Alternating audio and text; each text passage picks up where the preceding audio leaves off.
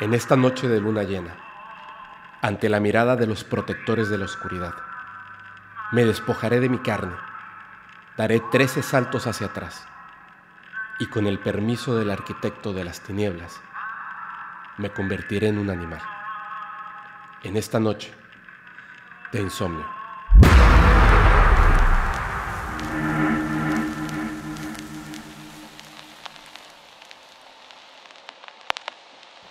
Todas las historias que escucharás a continuación son reales, o al menos lo fueron para las personas que las experimentaron en carne propia.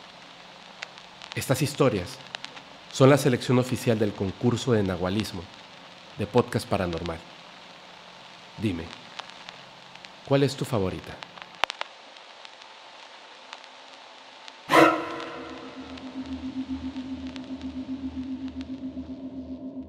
La siguiente historia nos las envía Jacqueline Martínez. Hola Fepo. Esta experiencia es de una tía. San Luis Potosí, México, 1967. Tenía ocho años. Vivíamos en un ejido, un poco lejos de la ciudad. Soy la tercera hija, después de tres hermanos. Mi madre, una mujer amorosa y cariñosa de día, era nahual de noche. Cada cierto día del mes, mi madre me pedía la acompañara a traer leña al monte. Caminábamos un largo camino. Recuerdo que ella siempre me mandaba al frente, mientras ella caminaba detrás de mí, observándome, sin quitarme la mirada. Siempre, justo antes de llegar a donde atravesábamos un arroyo, me comenzaba a dar temperatura. Yo le decía a mi madre que me sentía mal, que me sentía mareada, a lo cual ella siempre me contestaba, no te preocupes, es normal, ahorita se te pasa. Entonces, nos sentábamos a la orilla del arroyo y de un pequeño morralito de manta bordado sacaba un librito. Entonces, yo tomaba aquel libro. En su interior, sus páginas estaban en blanco. Tenía que ponerlo contra la luna para que sus letras aparecieran. Entonces, le leía a mi madre aquellas palabras, escritas en náhuatl. Al terminar de leer, me retiraba sin hacer preguntas. Eran otros tiempos y no podíamos desobedecer. Ya más noche, justo antes de que llegara mi madre a la casa, llegaba un puerco, un puerco muy gordo y extraño, y siempre, antes de que mi madre llegara a la casa, el cerdo desaparecía. Una de las tantas veces que íbamos por leña, me dio curiosidad ver qué hacía mi madre mientras yo regresaba a casa. Entonces, terminé de leerle aquellas palabras y fingí irme a casa. Me escondí detrás de unos mezquites y observé cómo mi madre comenzó su transformación. Juntó unas ramitas y hojas secas. Hizo una fogata pequeña. Frente a esta, comenzó a retorcerse, como si se estuviera convulsionando. Yo me aterré, pero no me acerqué. Cuando ella se detuvo, se sentó junto a aquellas brasas casi consumidas, y así, sentada, vi como ella se arrancó los ojos de sus cuencas y los puso sobre las brasas que aún estaban calientes. Así sentada, empezó a rodar hacia atrás y entre el polvo que se levantó, salió corriendo aquel cerdo que nos visitaba en las noches. En el ejido, se decía que mi madre era bruja y practicaba magia negra. Nadie nos quería ahí. Yo dejé de estudiar por las burlas que recibí en el colegio. Años más tarde, mi madre enfermó. Se decía en el ejido que por fin todo el mal que había hecho se le había devuelto. Antes de morir, me pidió con un gesto que me acercara a ella. Me miró a los ojos y me dijo, no te dejo sola. Tú eres igual a mí. Pacté para dejarte una herencia. Ahora tú eres un nahual y debes practicar la magia negra, como yo lo hice Ella falleció y los hermanos nos separamos con distintos familiares. A mí me tocó irme con una tía muy religiosa. Ella me inculcó el camino de Dios hasta que cosas raras comenzaron a sucederme. Primero, comenzaron a manifestarse por sueños. Después, los continuaba viendo de día, despierta. Eran caras de demonios que decían que querían mi alma. Yo comencé a mostrar en la piel las marcas que me dejaban. Me mordían y cortaban con sus uñas. Yo le conté todo esto a mis hermanos, pero sabíamos que no podíamos hacer nada. Pasaron los años y nunca dejé de verlos, escucharlos y sentirlos. Nunca me casé, no tuve hijos, me aparté de mi familia. Hoy vivo encerrada y con estos seres que se han vuelto parte de mí. Yo sé que es la herencia que mi madre me dejó por negarme a seguir su camino. Pero los doctores le llaman esquizofrenia.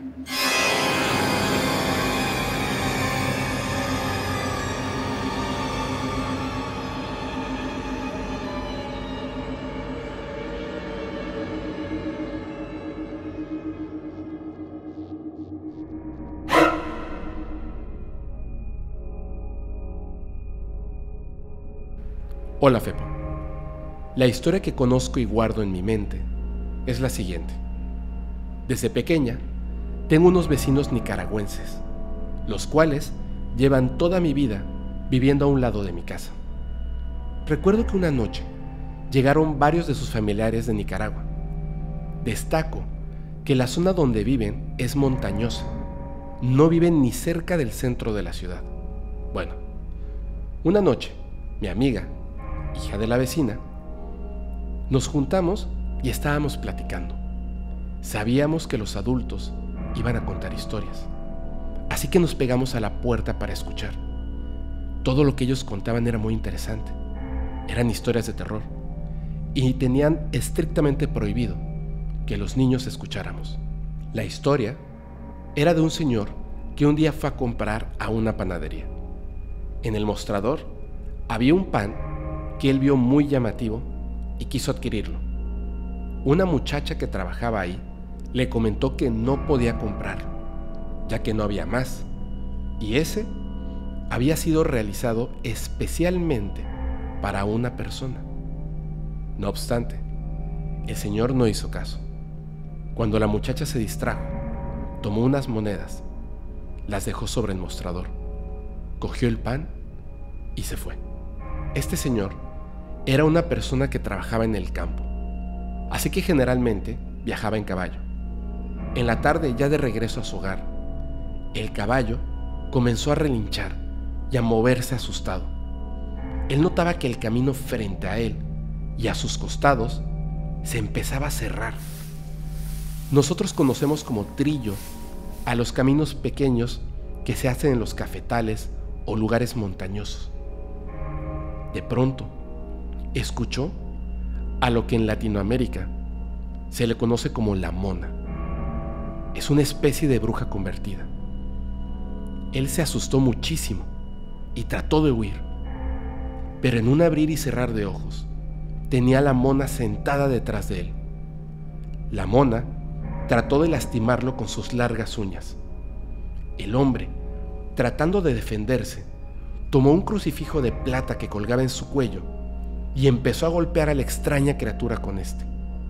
La mona salió gritando del dolor, perdiéndose en el campo. Y poco a poco, el camino frente a él volvió a aparecer. El plantío regresaba a su posición normal. El señor estaba asustado por lo vivido, pero él sabía quién era esa criatura. La muchacha que no le quiso vender el pan. Al día siguiente, llegó a la panadería para reclamar, pero la chica, extrañamente, se había reportado enferma ese día. Recuerdo también que parte de la conversación era cómo se transforman estos seres. Básicamente, necesitan un pedazo de carne hacen un tipo de ritual y dan una cantidad específica de vueltas hacia atrás. Y así se convierten en esta criatura, la mona. Una forma de defenderse de estos engendros es tirándole sal. La mona no podrá volver a su estado natural. Entonces, se suben a lo alto de los árboles a llorar hasta que fallecen.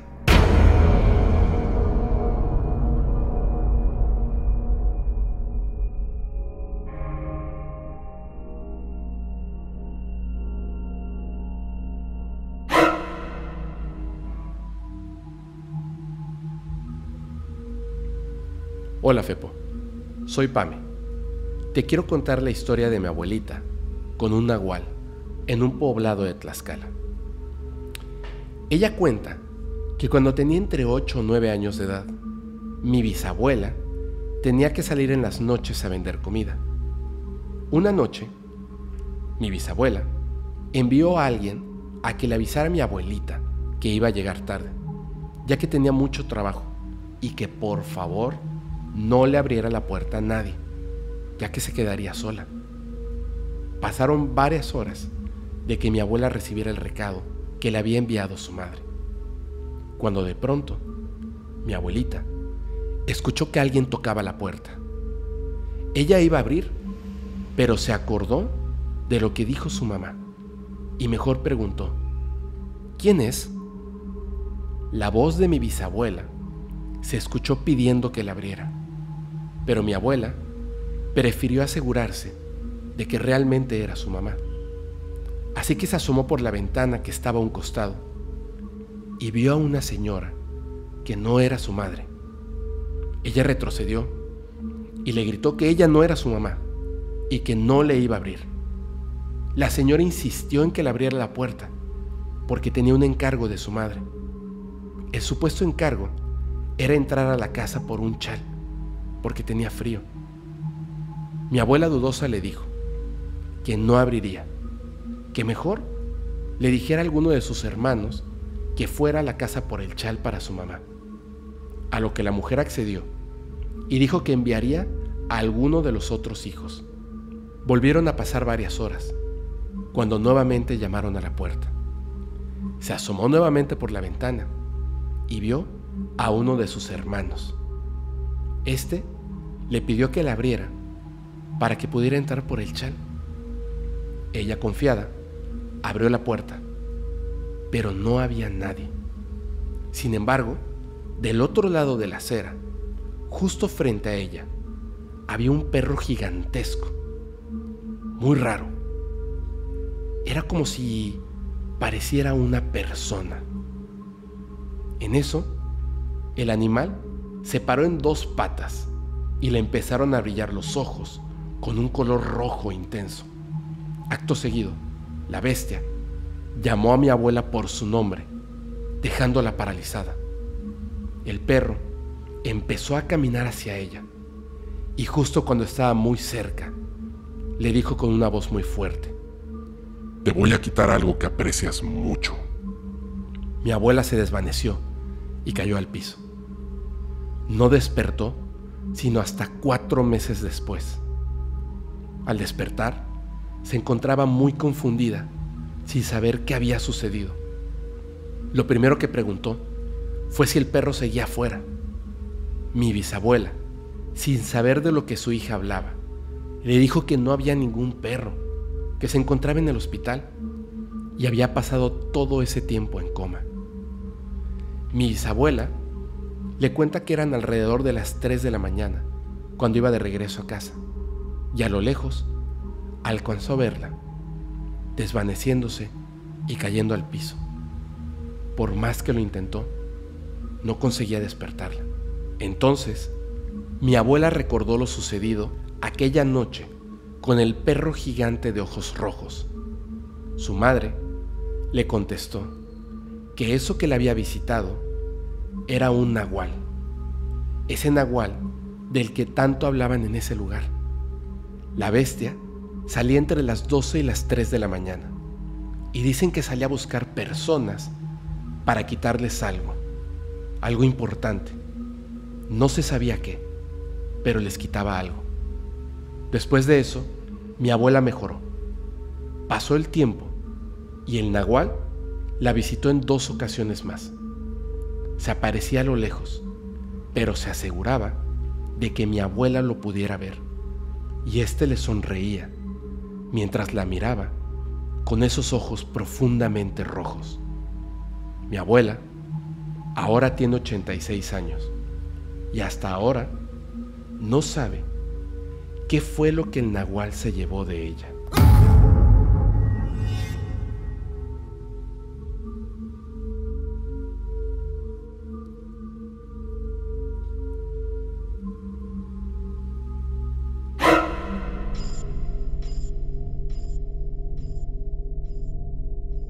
Hola Fepo, quiero compartirles una historia que me contó mi padre hace unos años. Se trata de su abuelo, o sea, mi bisabuelo. Ellos vivían en Morelos, en un pueblo llamado Coatepec de los Costales. Mi bisabuelo siempre tenía problemas con la comunidad, debido a que había unas tierras que le querían quitar. Él tenía bastante dinero y no ayudaba al pueblo. Lo contrario, tenía roces con todos los habitantes, pero en especial con la curandera. Ella no lo quería y decía que él era el mal del pueblo. Un día, mi bisabuela falleció, así que mi bisabuelo y sus hijos se fueron a vivir a la Ciudad de México, en Tlalpan específicamente, un lugar que hace años era puro cerro y se encontraba rodeado de otros cerros más, que formaban de cierta manera un triángulo. En este lugar se hablaba mucho de brujas y brujos.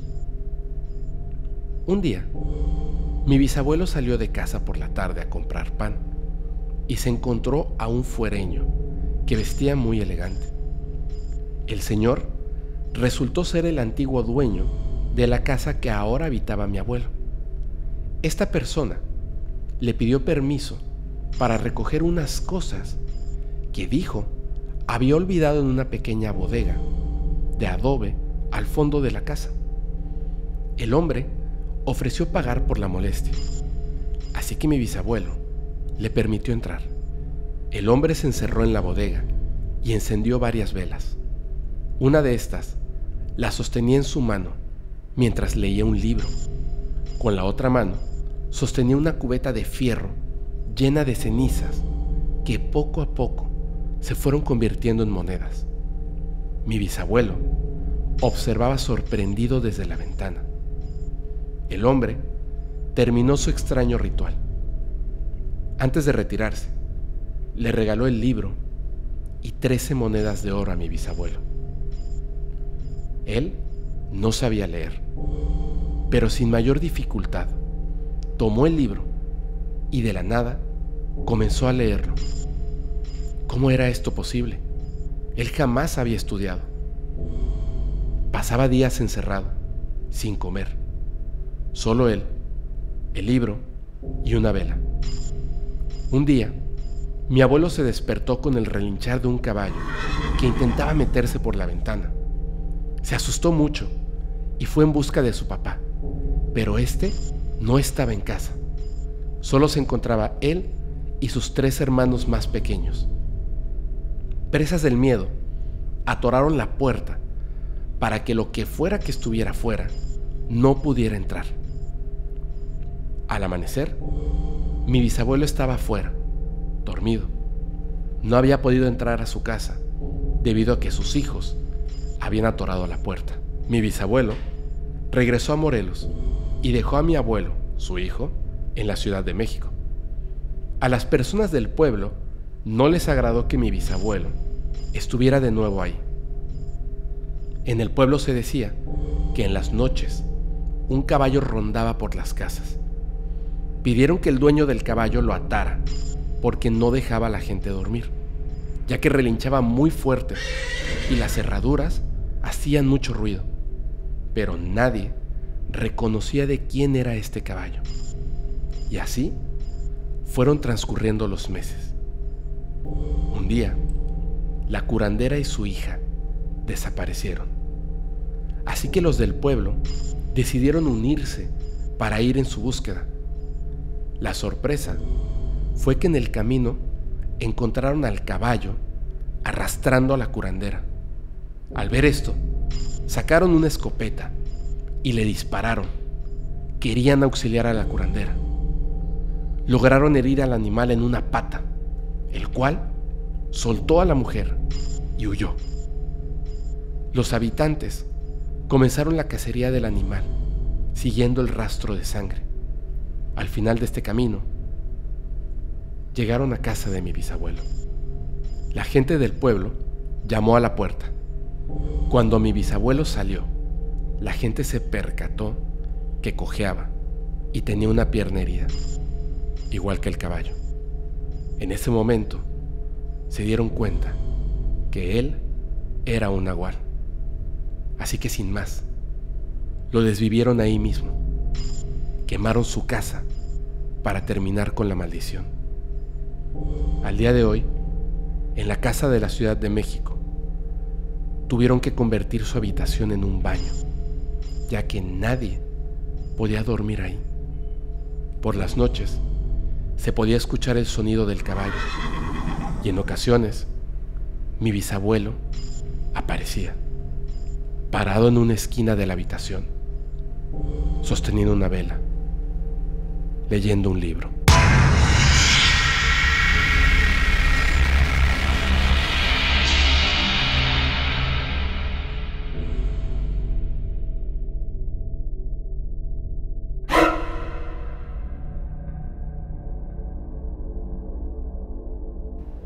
Esta historia le sucedió al papá de mi tío César el señor Clemente. Ellos son originarios de Cruz Blanca, Guerrero. Cuenta mi tío que su papá, como era de costumbre, todos los días salía muy temprano de su casa para dirigirse a un campo de sembradío y regresaba por la tarde. Un día, se dirigió hacia el campo como lo hacía habitualmente. Se encontraba recogiendo sus cosas para regresar a casa porque podía ver al horizonte la puesta del sol. En ese momento sentía que había algo diferente en el ambiente, un silencio total a su alrededor. Comenzó entonces su camino de regreso, pero dice que tenía la sensación como si le siguieran los pasos. Así que se detuvo un momento.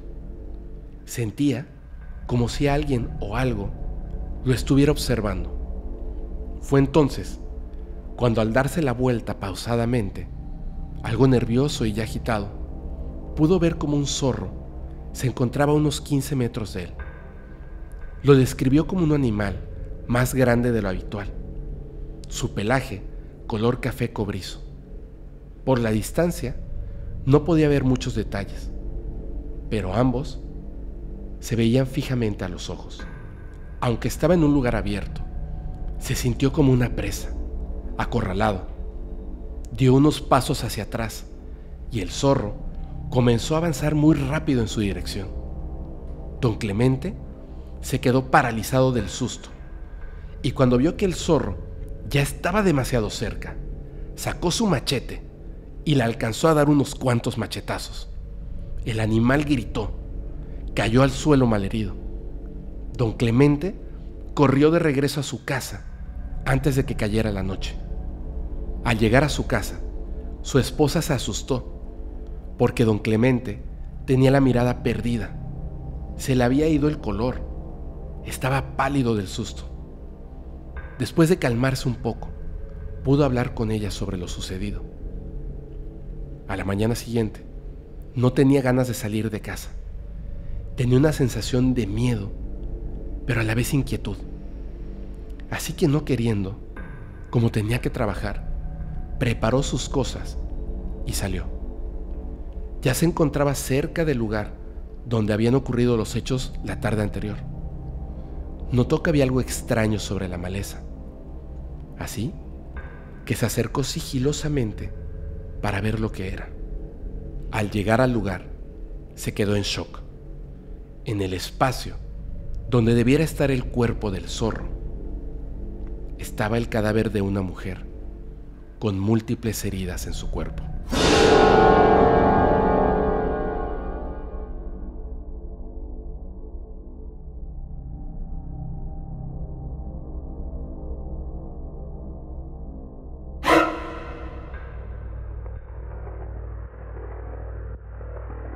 Hola Fepo, te contaré esta historia que le pasó a mi hermano mayor, pero claramente la sufrimos toda la familia. Nosotros somos de Hidalgo, de un pueblo cerca de Tizayuca. Todo comenzó una tarde. Estaba mi mamá, mi hermano, mi hermana menor y yo. Mi papá se encontraba trabajando. Tenemos la costumbre de rezar el rosario por las noches y ese día no fue la excepción. Mi mamá le pidió a mi hermano que fuera a la tienda por unos cerillos para poder encender su velador. La calle donde estaba la tienda no tenía buena iluminación. Era una calle de terracería.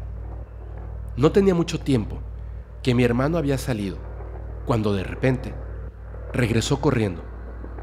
Tocó la puerta desesperadamente. Mi mamá abrió la puerta y lo vio. Mi hermano estaba pálido, llorando. Entre lágrimas, le decía a mi mamá que nadie le iba a creer lo que había visto.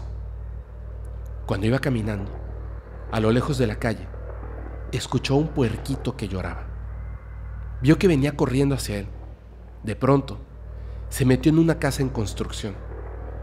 Pero cuando el puerquito pasó cerca de mi hermano, lo miró fijamente a los ojos saltó una trave y se convirtió en un perro enorme que desapareció entre la casa.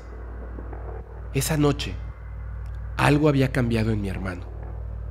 Mi mamá, con mucho miedo después de escuchar lo que pasó, decidió que rezáramos como siempre.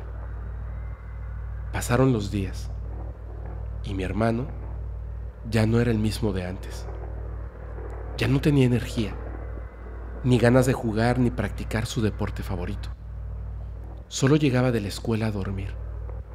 Y cuando mi mamá o yo le hablábamos, estaba ido, como si no fuera él. En las noches no podía dormir. Solía levantarse a las 3 de la mañana a caminar por toda la casa. Cuando mi mamá se despertaba para ver qué tenía, mi hermano le decía que no lo dejaban dormir y la única manera de que pudiera conciliar el sueño era si pudiera dormir con ella. Comenzó a bajar de peso. Dejó de comer. Al verlo cada vez peor, mi mamá se preocupó demasiado. Le contó lo sucedido a mi papá y el estado en el que se encontraba mi hermano. Por parte de mi papá, tenemos una tía que cura de espanto y muchas otras cosas así. Fuimos todos a verla para saber cuál era el mal que aquejaba a mi hermano. Cuando llegamos a la casa de mi tía, nos fuimos todos a un cuarto para que así ella pudiera trabajar. Como es costumbre, mi tía lo empezó a limpiar con un huevo y en el momento en que empezó a pasar el huevo por el cuerpo de mi hermano, se dio cuenta que éste se empezó a poner de un color negro y con una tipo S muy muy negra. En ese momento, mi tía le dijo a mis papás que tenían amarrada el alma de mi hermano. Le pidió a mis papás que fueran a comprar espíritus bebibles y untables para que así pudiera curarlo. Después de una media hora, mi tía acostó a mi hermano en una cama y solamente lo dejó con su ropa interior. Empezó a trabajar. Mi hermana y yo estábamos mirando todo y cómo empezaba a trabajar con rezos y llamándole por su nombre para que su alma volviera. Lo cubrió con una sábana blanca, bordada con una cruz muy grande en el centro. Y en el momento en que la sábana cubrió a mi hermano, este se empezó a retorcer con una fuerza descomunal. Aquello parecía ser un exorcismo. Ninguno de los presentes lograban controlar a mi hermano, que luchaba con una fuerza impresionante. Sudaba como si hubiera hecho mucho ejercicio y estaba agitado. Después de un rato, mi hermano cayó en un profundo sueño. Parecía como si no hubiera dormido en días. Después de varias horas, mi tía lo despertó y nos dijo que su alma ya había vuelto a su cuerpo. Cuando mi hermano abrió los ojos, no sabía dónde estaba. Entre lágrimas, contó que él percibía todo como si hubiera sido un sueño. Se encontraba en un lugar muy oscuro, amarrado a un poste. Veía la figura de una persona con una manta negra que le tapaba todo el cuerpo y que decía que lo iba a matar.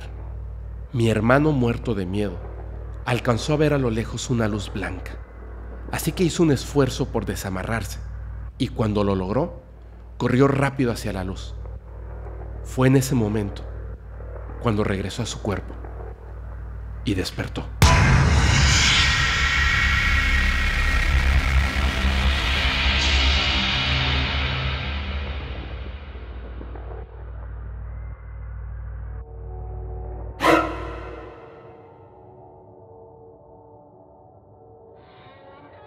Hola Fepo, aquí te va la historia del pueblo de mi abuela. Esta historia le sucedió a un amigo cercano de mis abuelos. Ellos vivían en un pueblo llamado Cachiri, en Colombia. En ese pueblo acostumbraban salir a cazar a altas horas de la noche. Sin embargo, muchas veces los cazadores llegaban a sus casas malheridos. Era una situación muy extraña, ya que todos volvían con una o ambas piernas rotas y debían usar muletas por un buen tiempo. Con el tiempo, mucha de la gente que sufrió los accidentes comenzó a encontrarse en cantinas. Al preguntarse por la extraña situación de encontrarse todos con muletas, descubrieron que tenían algo en común. Todos habían sufrido accidentes persiguiendo un cervatillo gigante. Muy hermoso, sí, con un brillo inusual en sus ojos casi hipnótico. La mayoría decía perder la noción del tiempo. Era como si les borraran horas después de ver aquel cervatillo. Aquellos que habían tenido la mala fortuna de verlo terminaban con la memoria nublada. Volvían en sí cuando el dolor de tener las piernas quebradas los hacía despertar y despertaban dentro de una especie de zanja que quedaba al final de un barranco. Con el tiempo, la gente que iba de casa evitaba esa zona por temor a encontrarse con el cervatillo. Poco tiempo después, llegó a vivir a la casa del vecino de mis abuelos un agradable hombre que era hermano del señor dueño de la casa. Con el paso del tiempo, terminó siendo muy allegado a mi abuelo. Un día, conversando entre ellos, fue inevitable que tocaran el tema de los hombres que intentaban cazar aquel cervatillo. Lo que llamó la atención del amigo de mi abuelo no eran las consecuencias de intentar cazarlo, sino que era un animal poco usual de la zona, por lo que decidió ir a buscarlo. No fue algo repentino, sino más bien un proceso. Cuenta que las primeras semanas no escuchó nada, no vio nada, pero después de varias semanas Sentía como si alguien lo observara. Dejaba muy en claro que sentía la mirada de alguien observando desde detrás de los árboles. Es decir, sentía que la vista venía de algo que estaba parado en dos pies. Incluso en ocasiones, él podía escuchar cómo las ramas se quebraban cerca de él. Así transcurría todo, hasta que una noche decidió disparar al aire esperando que apareciera corriendo. Sin embargo, aquel animal se mostró caminando muy despacio hacia él. Dijo que al verlo sentía un aroma muy dulce. Estuvo caminando por mucho tiempo hasta que el olor a excremento de los animales de alrededor lo sacaron de aquel trance. Fue ahí, para sorpresa de él, que caminaba detrás de aquel cervatillo, en dirección al barranco. Aquel cervatillo no caminaba en cuatro patas, sino en dos, como si se tratara de una persona. El hombre, al ver aquella escena, comenzó a orar mentalmente. Decía que era como si aquella cosa supiera que algo había interrumpido la hipnosis, ya que giró su cabeza rápidamente a donde él se había quedado rezando en cuclillas. El cervatillo comenzó a llamarlo con su pezuña, con un gesto de burla. Él decía que de alguna manera sus piernas se volvieron a estirar y trataban de caminar. En su mente seguía rezando casi por instinto. Sin embargo, cuando lo hacía, de aquel animal brillaban sus ojos, causándole a aquel hombre la sensación de ser atrapado por un lazo que guiaba sus piernas y lo jalaba a caminar hacia el barranco. Fue tanta la histeria de aquel hombre por la situación que estaba viviendo que se orinó. Quizás por la adrenalina o por instinto de supervivencia, sin pensarlo, empujó aquella cosa con todas sus fuerzas. El ser perdió el equilibrio al estar en dos patas, quedando muy cerca de caer al barranco. El hombre dio media vuelta, tratando de huir de aquel lugar. Fue entonces que lo escuchó hablar, o un intento de hablar, porque lo describe como si se mezclaran las cuerdas bucales de un animal con las de una persona. Esa cosa le estaba pidiendo ayuda. Él no recuerda bien lo que pasó en ese momento. Dice que fueron unos segundos y el shock del evento le hizo olvidar muchos detalles. Lo que recuerda es que tuvo una especie de acuerdo con el ser. Él evitaría que cayera a cambio de que dejara en paz a los pobladores de aquel pueblo. El hombre le extendió la mano y lo ayudó a subir. Dice que al tocarlo, sintió un ardor cerca de la muñeca. Apenas alcanzaron terreno, aquella cosa salió corriendo a gran velocidad, usando sus cuatro extremidades, como si ahora sí se tratara de un animal. Lo más curioso es que al día siguiente despertó muy temprano por la mañana en el pueblo, sin conocimiento de cómo pudo llegar hasta allí. A lo lejos, vio a una señora de apariencia humilde, algo mayor de edad, mirándolo fijamente de una manera dura. Esta mujer movió su cabeza de arriba abajo en señal de despedida. Se alejó cargando cosas dentro de algo que parecía una especie de bolsa hecha de piel, una piel similar a la de aquel cervatillo.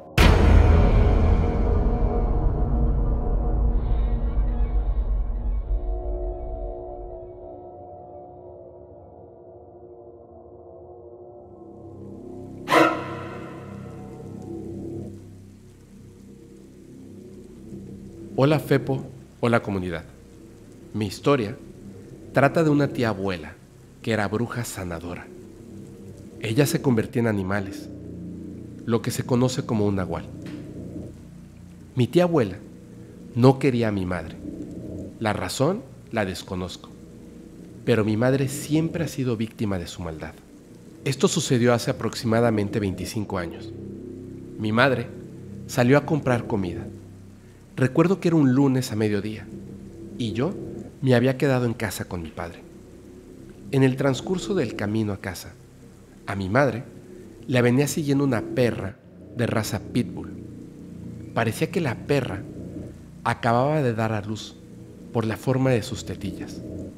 La perrita seguía a mi madre y se la abalanzaba detrás de su espalda. La tumbó en tres ocasiones, la babeaba y le mordisqueaba la mano, pero sin enterrar sus colmillos. Era como una amenaza. Mi madre asustada le daba pedazos de carne con la mano, pero la perra no se comía la carne. ¿Cómo es posible que la perra no se comiera la carne? ¿Qué perro se resiste a la carne? Mi madre asustada pedía ayuda. Ella caminaba sobre una avenida y había negocios. Las personas solo se le quedaban viendo sin ayudarla. Era como si no vieran al animal. Todo el trayecto de camino a casa la siguió. Como pudo, llegó a casa y mi madre se metió corriendo. La perra desesperada empezó a golpear la puerta que daba a la calle. Se azotaba, ladraba y volvía a golpear su cuerpo contra la puerta. Mi padre llamó a la perrera municipal para que se llevaran a esta perra. En pocos minutos, la perrera llegó, pero, oh sorpresa, no la encontraron. Los trabajadores de la perrera pensaron que se trataba de una broma, ya que la buscaron por dos horas, pero no había rastro de ella, como si no existiera. Mis padres, desconcertados, pensaron que el animal se había ido. Mi madre nuevamente salió a la tienda y esta vez yo la acompañé. Cruzamos la calle y justo cuando íbamos llegando a la tienda, la perra volvió. Volvió a aparecer. Su aspecto delataba enojo. Salivaba a chorros. De pronto, la perra volvió a lanzarse sobre mi madre, tirándola al suelo. Como pude la ayudé a levantarse y la de la tienda le gritó a mi madre que esa perra no era normal. Volvimos a casa rápidamente, tratando de evadir a la perra que venía acechándonos. Al llegar a casa, todo comenzó de nuevo. La perra se lanzaba contra la puerta y ladraba fuertemente. Mi madre asustada recordó lo que dijo la señora, así que decidió tomar agua bendita y se la roció la perra mientras rezaba. La perra chillaba de una manera aterradora mientras el agua bendita le caía encima. Después de esto, salió corriendo. Desde ese día, mi tía abuela, que se estaba hospedando en casa de mi abuela, no aparecía por ningún lado. Dos días después, apareció. Se encontraba misteriosamente enferma. Estaba en cama y les dijo a mis otras tías, frente a mi madre, que se encontraba débil puesto que había tenido una fuerte lucha contra alguien. Jaló a mi madre discretamente y le dijo, Ana, no sé quién chingados te cuida, pero tú tienes algo, algo contra lo que no puedo. Mi madre se quedó fría al escuchar esto. En ese momento, supo que lo sucedido con la perra estaba vinculado a la tía abuela. Hace unos años, la tía abuela falleció y el sacerdote del templo expiatorio de Guadalajara recogió un libro misterioso que ella había escrito. Al verlo, lo cerró y se aseguró que el contenido de ese libro nunca fuera revelado.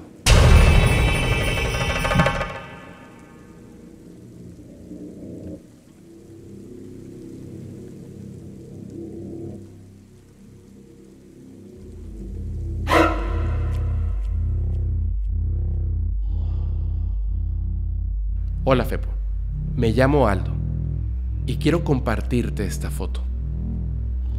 Esto le ocurrió a mi primo en el año 2015, en el pueblo de Meoki, en el estado de Chihuahua.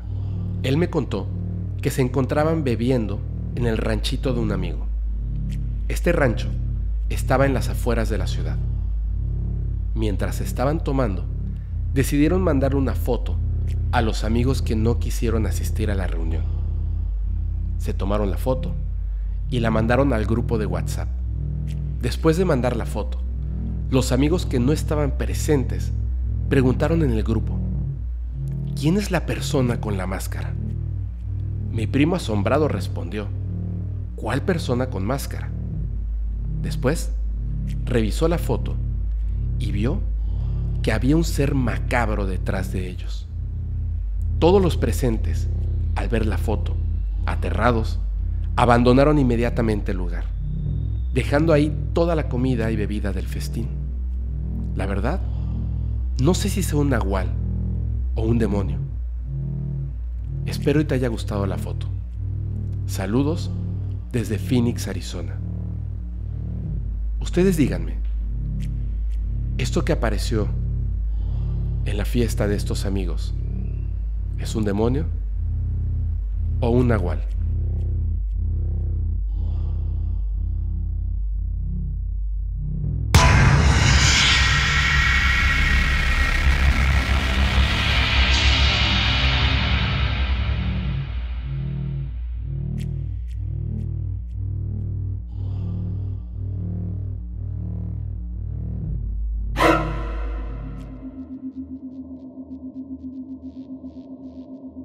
Mi familia es originaria de un pueblo llamado San Mateo.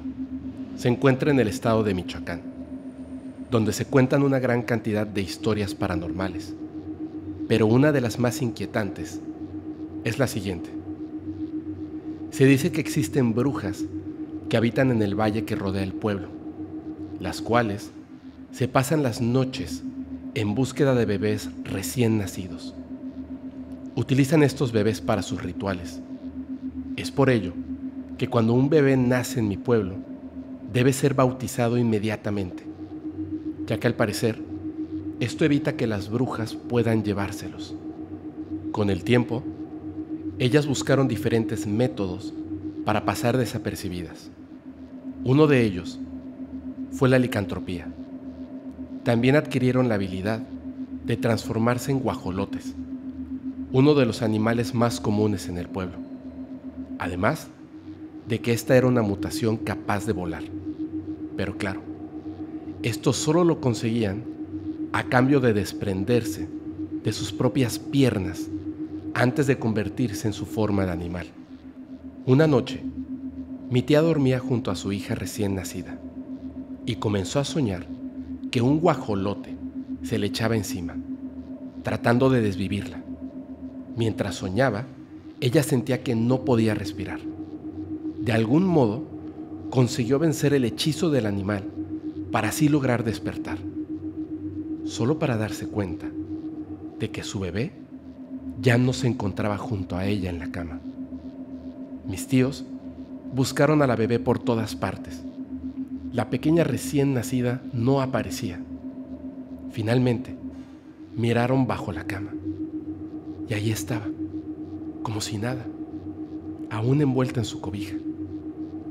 Al parecer, la bruja no pudo hacerle nada a la bebé, pero años después, mientras mi prima fue creciendo, fue presentando distintos tipos de enfermedades sin explicación alguna. Los habitantes del pueblo, cansados de los sucesos, emprendieron una cacería de brujas, advirtiendo que todo aquel guajolote que se encontrara fuera de sus corrales durante las noches sería descuartizado. Una noche, una de estas brujas no pudo llegar a tiempo a su escondite, ya que estaba a punto de amanecer. Al parecer, el sol les quita la habilidad de volar, por lo cual la bruja no tuvo más opción que refugiarse debajo de un puente que pasa sobre un río. Los pobladores, al ver al guajolote en un lugar tan inusual y tan lejos de un corral, no dudaron en descuartizarlo. El día aún no mostraba sus primeros rayos y para cuando el sol salió, el río estaba teñido del rojo de la sangre. Lo peor de todo fue que en el transcurso del día, la gente que vivía junto al río fue encontrando pedazos mutilados de un ser humano flotando en el agua. Dedos, orejas, brazos desmembrados. Pero claro, ni una sola pierna. Estas aún se encuentran en casa de la bruja, esperando para ser devueltas a su cuerpo humano.